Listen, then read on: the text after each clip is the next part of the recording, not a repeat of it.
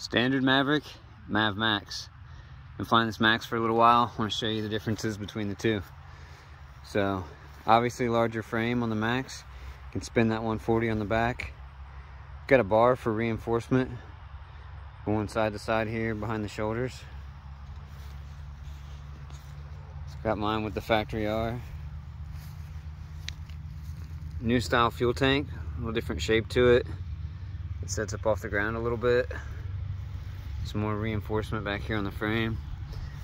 Uh, the tank is a 12 liter tank now instead of the 10 liter that's on the standard.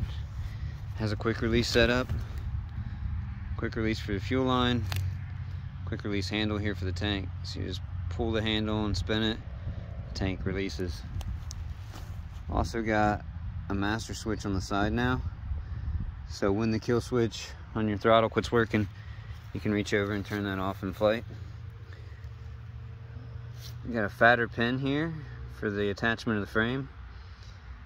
It's a little more square shape to it versus the standard Maverick. Smaller, more rounded pin.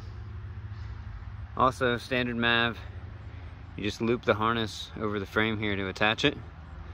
And on the Max, they've given us a nice attachment point here, up top, and one down at the bottom for the harness. Also, standard Mav, you would hook the net onto this pin here. And on the Max, they've moved the pin to the back of the frame more out of the way. And instead of having this old style seat hanger here, they switched it to a pin here out of the way on the back and given us a larger mounting point for the swing arm. There's some new upgraded bushings in there, moves a lot more freely. No restriction in the movement versus the smaller one. It's a little more like that. So larger swing arm, more length to it, and then there's almost uh, another inch of width in between the two swing arms.